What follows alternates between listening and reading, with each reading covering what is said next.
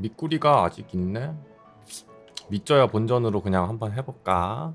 여기 자리가 조금 애매한 게 연못 한가운데가 아니라 땅이랑 연결된 데여가지고 미친 코끼리가 나오네? 와 근데 진짜 개오바다 아니 대발인데 한 마리가 안 나오네? 개오바긴 해 아마 요런 데 처박혀서 Nope. 그지 이거 너무 심하지 이거는 여기는 버려야겠다 그죠? 어? 나쁘지 않겠는걸?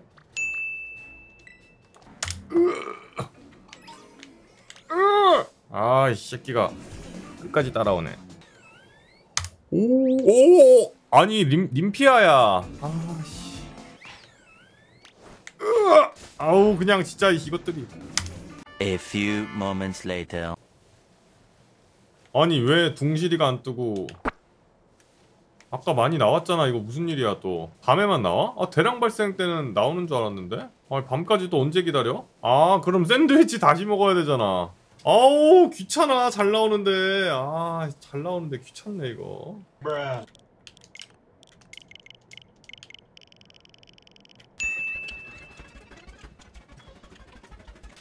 너, 야 나온다. 저녁 됐다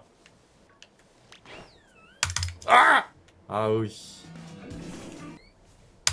으, 아우 그냥 꺼지라고. 벌레 회피 스프레이 다시 내라고.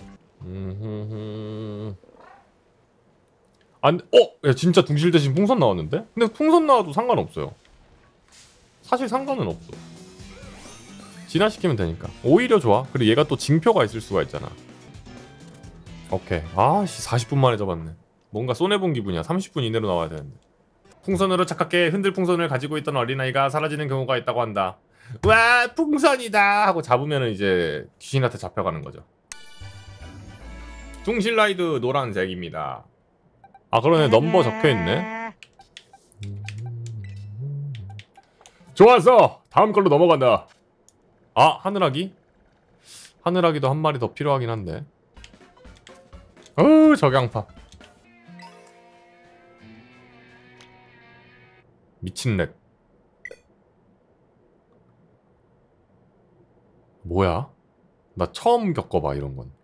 싫어하냐? 저장? 저장했나? 잠깐만. 내, 내 흔들풍선. 제발.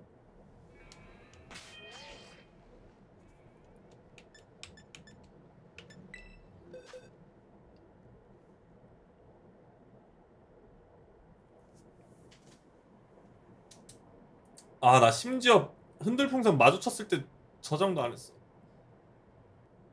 아. 아, 졸라 짜증나. 아, 왜 저장을 안 했어? 포켓몬 스칼렛 바이올렛은 똥겜이 확실해.